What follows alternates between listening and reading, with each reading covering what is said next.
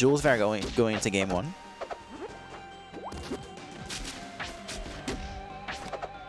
Just like that, we can see a lot of Akashi just like poking with tilts, down tilt, dash attack.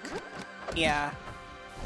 Definitely a little bit less comfortable in the air for a player like Penguin, but still making it work. A lot more just like grounded cloud to cover space, thunder line to prevent people from jumping in, keeping his aerial approaches safe with that constant threat. Very methodical. Ooh, Getting that yeah. kill extremely early. Koda just holding in on the fair, and it's a recipe for disaster with the up air. For sure. Great parry there. Oh. Oh my god, if, if Koda was a little bit further out, I think they would have just died from that. Yeah, oh boy. Great double, pi- great double pin there.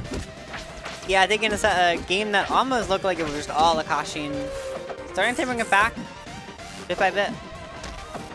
A lot of parries coming out from Akashi. Koda definitely tends to be a little bit of a buttons player, which of course isn't a bad thing. They have an mm-hmm. incredibly explosive punish game. But a lot of the times they'll overextend a little bit like that, and Akashi gets so much mileage. Just because Koda gets a little trigger happy going for clips like that. Yep, right as you say it, they're gone. It's, it's, it's the fallout to, to their play, but it can be a benefit when it works out, like we've seen with those B reverse howls. They just want to be cool. I don't blame mm-hmm. them. And it's been working. They've been cementing themselves guaranteed fourth here at TAPS. yeah, Just playing for style, having a good time, not taking it too seriously. But at the same time, Akashi has been getting a lot of parries, just catching Koda when they're being a little bit too... Oh, no. and that sucks. Just mispositioning and getting the down air. I think it's good that Koda's laughing it off a little bit. I feel like a lot of that times that would shake someone, especially, you know, the first game of a set. You want to have a good first showing, and then you just dare at 27. But Koda's taking it well. Mhm. I think that's a good thing. I definitely see a lot of promise as a result, just seeing their reaction to that. They're, they're bobbing a little bit. I, Yeah. think, I think they're going to be fine. For sure. Yeah, they're- they're, being silly. I think Koda's mental is completely fine. Yeah. They do tend to be an emotional player, but I think they've felt confident just from winning Penguin. I mean, beating its beating Penguin, not having super big expectations in- for after this, because it's like you already did that. That's huge. Yeah, for Not sure. not much pressure anymore. Just kind of live a little bit, have some fun with it, not sh- just shake it off a little bit. And I think that's a really good thing going into this game too. I can see Rockwall being a risky pick, as we've mentioned previously. Thin side blast zones. The top might be like average size, but with those platforms, it can feel really, really small. Yeah. And especially against a character like Absa, where if you DI in once against a fair, you just get up aired and die at like, what was it, 70 in game one? But at the same time, Koda's incredibly refined punish game. Their Sylph blender combos could come into play a lot, forcing Kashi to DI in and getting making Koda's setups a lot easier to land. Right. Yeah, a lot of Howl usage as a reset. Kashi just kind of staying in the corner, not approaching a lot with jump-ins, which is what the main usage of Howl is for, just to kind of catch you from landing. Not like Crackdown special.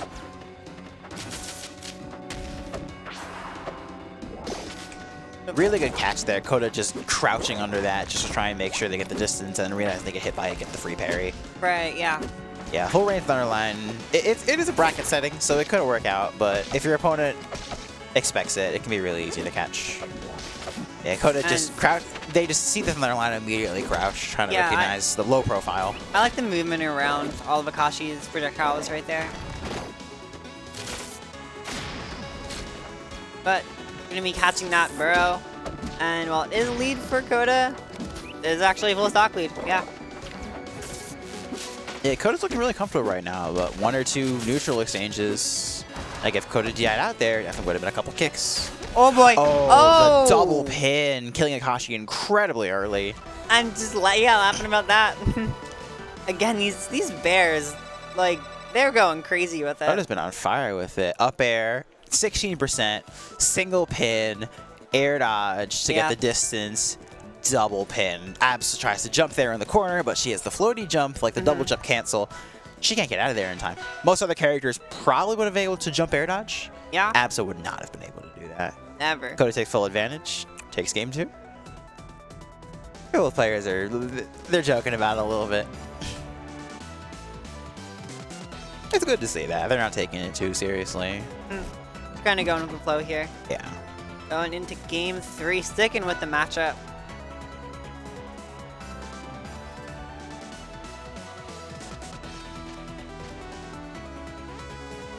Got the line of bands here. Troupple, Abyss, and Tempest. Definitely see those being good Absa stages. Like I mentioned, the T stages.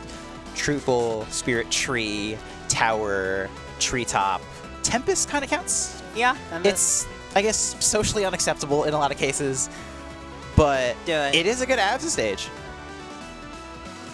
We don't we don't see it very often, Mm-hmm. but it's it's a good Absa stage.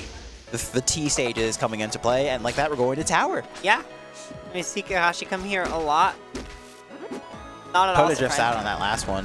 I think they they, they realize holding in is just a death sentence. Yeah. It's interesting because I don't think this is a great soul stage, but I also feel like with Koda's playstyle of being a lot more like flashing advantage state oriented, I can totally see it working out. Absolutely. Usually, uh, Silver just want like a big open space to try and contest with, because a lot of platform might be counterintuitive, or other characters might use it more. Yeah. Especially when Koda wants to stay grounded. But being able to just take full advantage of that and press advantage as hard as they can, especially with setup like that bear pin to take out the first stock. Great reset there with the Howls, just trying to. They recognize they dropped the combo and then just trying to get another one out of it. Yeah. But Kashi just takes a quick fair up air. Spawning in force right now.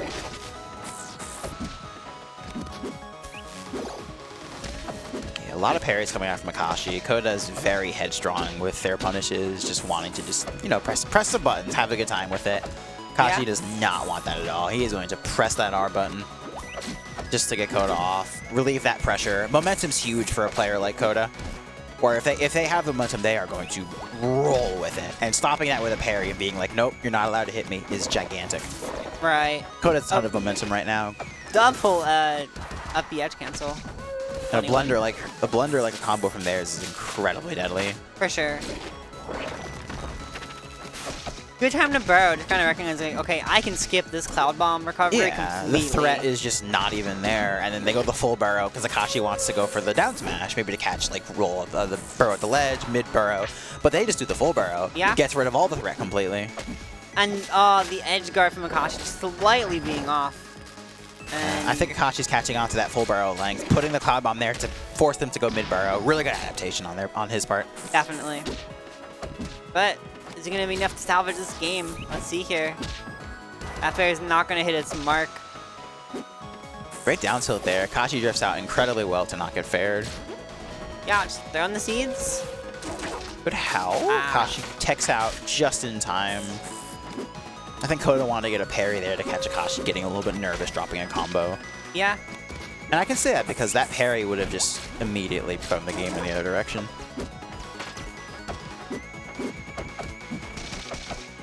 Akashi's at a really, really high percent. Using that Thunder Line to force Koda to not challenge, which makes his landing safe. yeah. It, it's really good long-term conditioning if you think about it. But he's also at 189. At, at this point, Koda's just trying to kill with the down tilt. yeah, I, I think Koda wants Okay. to just end that. 203 after the hit. That's rough.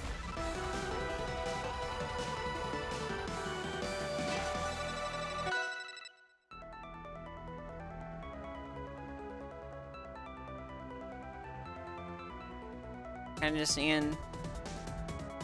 Getting to crouch cancel. Just kind of poke at that mid range. That cloud's barely whiffing. Wow. Yeah, really good crouch there from Koda. Even if it like wasn't directly above, I think that recognition to be like, I'm just gonna crouch crouch cancel this. I don't know if Kai's gonna put this on me. Mm-hmm. A big part of understanding playing against an Absa, at the very beginning of game one, you want to see where they're gonna throw their clap. You don't want to try and go for parries immediately because they just couldn't might do that to bait you. But at the same time, trying to contest them or just being like, oh, they're gonna just try and do this to bait me. You might get interrupted a lot with clap. What you want to do, like what Koda did there, is just crouch under it and just try and edge them out and see like kind of understand where they're going to put their clouds, which you can be more confident in your cloud parries later on, like we saw this set against Tapscon. Yeah, like personally, I just when I'm um, playing against an Abstar, I'll just crouch right at the start of game one. Yeah, it's a lot safer. You can Kinda- see if they want to put it on you, they can see if they want to put it in the air, like to bait you, and then you can kind of get an um, idea of their cloud habits. Right. Akashi drifts really, really far there. Didn't die off the top. I like that Koda just crouching under that cloud, not really sure if Akashi's going to put it on top of them or if they're going to put it behind them. And they, they made the right call there. Yeah. Because I'm not super confident they haven't really edged out Akashi's cloud habits yet, even though we're a couple games into the set. But it's better to be safe than sorry. You don't want to get parried and then just lose your stock because you don't want to parry and then have Akashi just kick you and kill you at like 70 Yeah. because he baited you. Ooh, I think that was an attempt to try and just catch like a roll or a panic option getting stuck on the plat. Yeah, I'm Kind of delay that, but Koda caught onto that and did a late parry, which was really smart. not entirely sure what happened there, but either way. Uh, looks like Akashi's starting to bring this game back a bit. Oh, but Oh, that worked out really well with the read, but Akashi just barely missed that. yeah. They're getting the down strong. And Koda not being able to land their own down strong. Hashi in the lead now. A lot of these parries have been working out incredibly well for him in this set. Like we've mentioned, Koda tends to be a little trigger happy. Sometimes for their own, not for their own good, but Yeah. it's what they want to do. Mhm. And you got to respect that. But it's been working out in Kashi's favor a lot, where he's been getting multiple parries per game because Koda wants to just reset, keep pressing buttons, hit you again, hit you again. And he's been catching up to that impatience. Really good adaptation on his part. Just Yeah. like that, another just impatient move that Kashi's been parrying. Oh boy. That up air would have just taken out the whole set. Yeah, somehow falling through with the up air. You can just, uh, Koda can just mix up his DI with it once. That is gonna be the set, I'm pretty sure. Yeah, I think Kashi's been trying to just bait out some unsafe roll or parry habits that Koda tends to do Yeah. when they get a little bit nervous, but That was really smart. Scouting out the bear, not just going for it right away. Just like that, Kashi take I mean Koda takes game four, 3-1, moving on to go play Giga Bowser. Yeah. They're Sylvanos brethren, but they've both kind of drifted ways. I don't know the whole. There was a whole meme. It's like, why are mom and dad fighting? because Yeah. they were the the big Sylvana. Sylvana. Sylvan- Sylvanos yeah. is plural. Sylvana. for a while. I like that.